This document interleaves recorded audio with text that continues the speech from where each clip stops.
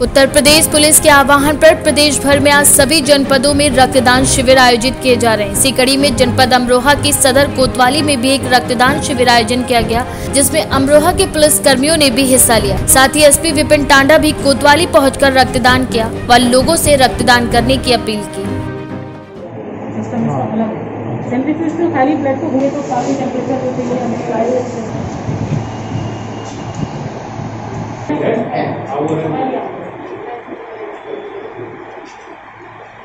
जो आज ये शिविर आयोजित हुआ है पुलिस डिपार्टमेंट की तरफ़ से क्या है प्रोग्राम जी इसमें आज पूरे प्रदेश में यूपी पुलिस की तरफ़ से रक्तदान के लिए शिविर आयोजित किए गए हैं जिसके दौरान हमारे यहाँ थाना कोतवाली में ये शिविर आयोजित किया गया था।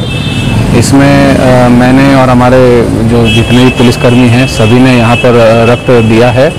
और मैं सभी से अपील करना चाहूँगा कि रक्त ऐसी चीज़ है जो कि बीमारी में, अस्पतालों में बहुत ज़्यादा तादाद में काम में आता है और कई बार कमी होने की वजह से कई लोग रक्त के अभाव में मृत्यु को प्राप्त हो जाते हैं।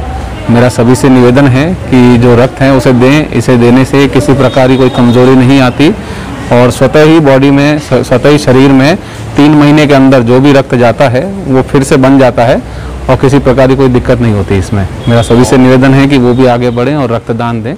दूसरों को अमरोहा से केकेडी न्यूज़ संवाददाता मुजम्मिल हुसैन की रिपोर्ट।